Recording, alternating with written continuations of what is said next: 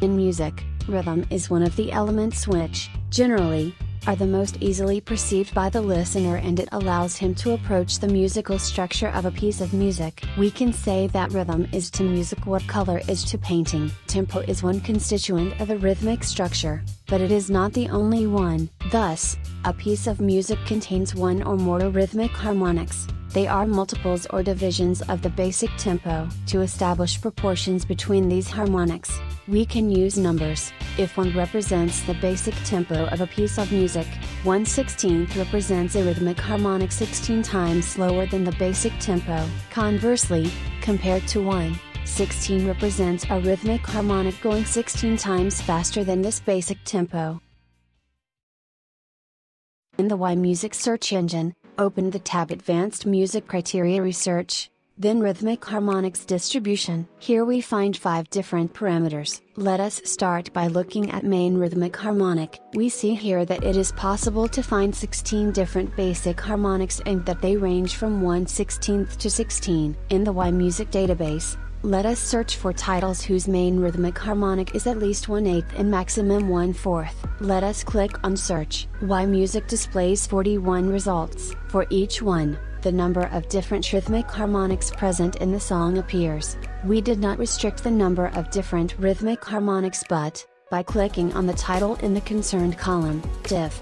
RH, we see that it goes here from 1 to 12. Let us now look at the column related to the main rhythmic harmonic main RH. We can classify the results in descending order, by clicking the title of the column, a down arrow will appear to the right of the title. We find that 6 tracks have a main rhythmic harmonic of 1 8. In order to listen to these 6 tracks, we can click on My Account, to register and connect. We can now click the Playlists button, then select the 6 tracks and SDD them to playlist and, finally, listen to the result, using a sheet music of the tracks or not. We can add other results to this playlist, for example 6 titles whose main harmonic is 1 4th in order for example to establish comparisons.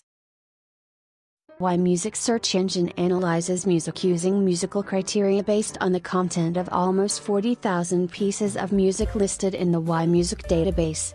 Today, Music listeners listen to more music in a single year than their 17th century ancestors during their entire existence. However, online music services ask their users to have a specific query in mind when entering keywords, such as a title. Due to these language limitations, there is a gap between listeners' expectations and what they receive.